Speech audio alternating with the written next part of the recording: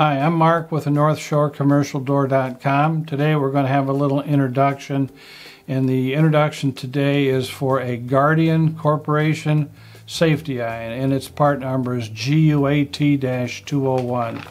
When it comes to you, it's going to come in a uh, plastic bag that's designed to keep it uh, dry and dust-free as it comes to you. It's clipped together. I'm not going to unclip it, but it comes with two brackets, two eyes, and a uh, fairly large spool of wire so that you'll have the ability to wire it.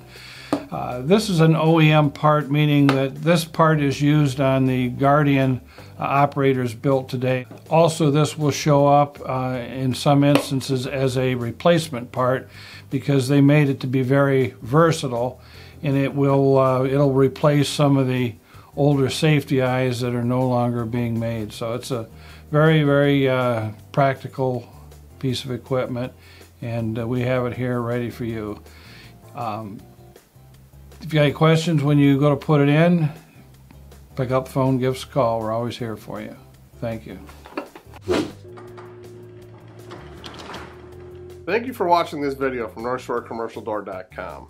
Please subscribe to our channel so we can continue to make content like this. Thank you.